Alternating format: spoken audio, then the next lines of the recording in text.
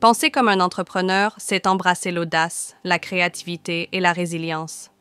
C'est voir les défis comme des opportunités et l'échec comme un tremplin vers le succès.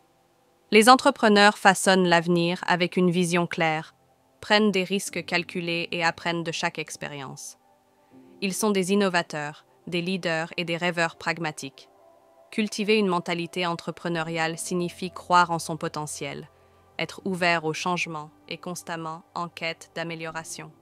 C'est une voie exigeante, mais elle offre des récompenses inestimables. Alors, pensez comme un entrepreneur, et qui sait quelle réalisation extraordinaire vous pourriez accomplir. Rendez-vous sur tamtam.com.